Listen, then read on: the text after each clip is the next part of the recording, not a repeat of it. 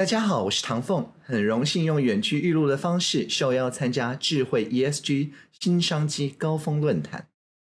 请容我先跟大家分享一支短片，这个是今年总统杯黑客松活动在国际上的前导影片，主题是 Climate Action Practicing Net Zero，也就是气候行动实践近零目标。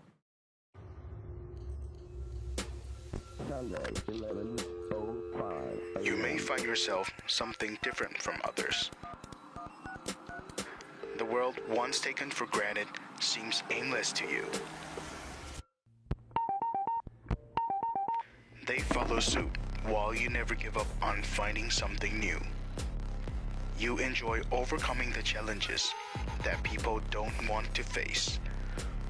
When people are worried about falling behind, what crosses your mind is how to move forward together.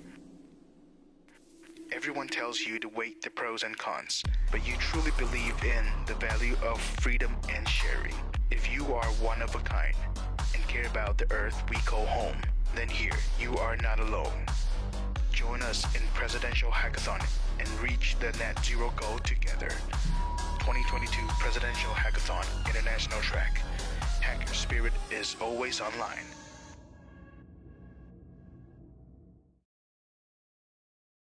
近邻是这次论坛关注的主题，也是全世界都感觉到急迫的明确目标。蔡总统在去年四月二十二日地球日宣誓，我国要跟世界同步，在二零五零年来达到近邻。而这两年来的总统杯黑客松都紧扣着这个主题。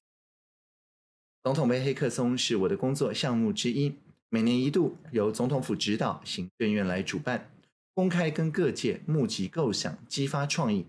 运用跨领域的创新来促进永续发展。举例来说，去年的卓越团队，我们的诗木鱼就提出共享海洋牧场，这是一个非常好的例子。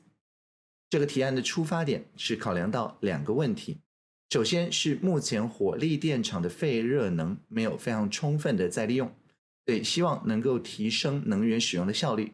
那第二个则是在气候变迁之下。我们养殖渔业在冬季常常遭遇寒害，需要为鱼温加热保温。那因此呢，又增加了碳排。所以在减少温室气体的想法之下，台电跟海洋大学跟基隆区渔会就共同提案，把电厂的温排水用来打造适合鱼类生长的温暖环境，协助渔民因应极端气候，减少养殖渔业在冬天使用加热设备造成的碳排。换算估计，每年可以减碳到三万吨以上。那台电电厂排出来的这些温室气体，其实也可以用来养殖围藻，来吸附二氧化碳。这些围藻又可以当做鱼类的食物，还可以制成保养品，还有保健食品。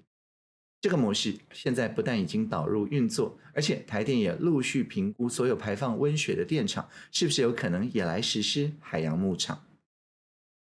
又或是像在二零二零年获奖的 Circle Plus 奉茶行动，这个提案是因为发起人参加净滩活动，发现有捡不完的保特瓶，为了从源头来减少瓶装水造成的垃圾，他就和朋友们一起开发了奉茶这个 App，建立起全国的饮水地图，民众非常容易就可以找到饮水站，不需要再买新的瓶装水，这就达成了源头减塑还有循环经济的目标。